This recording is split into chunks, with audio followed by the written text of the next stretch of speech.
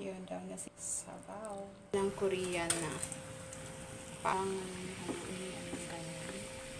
Ilulubog lang natin yung noodles. Tapos, yung na, na pinakaluan. Para may iwa tayo ngayon. No? Yan. Ang nagamit ko ay chicken breast. Garlic.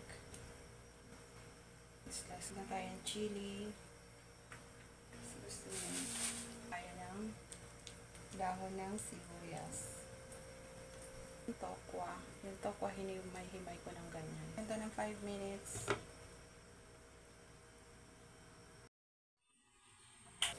Ko. Sinis.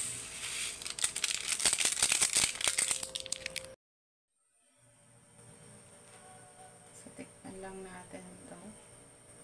Ito yung ano, yung yung pinaka sauce ng ano guys. Makikita nyo na may parang bula-bula. Ano ng shrimp yan. Sarap. Ready to serve na yan.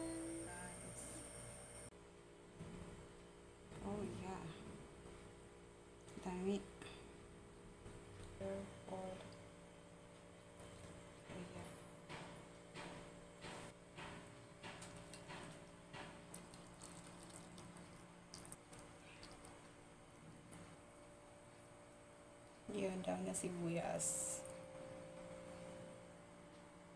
Meron tayong chili. Wow.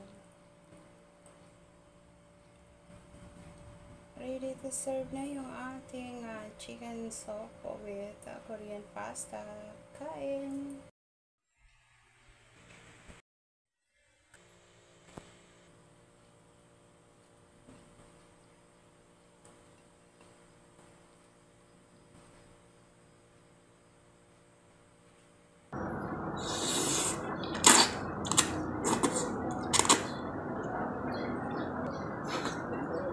Mexican. ¿Será?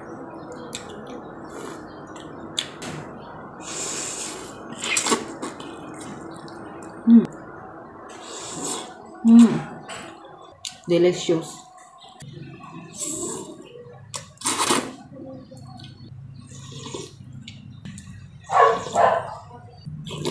Mmm.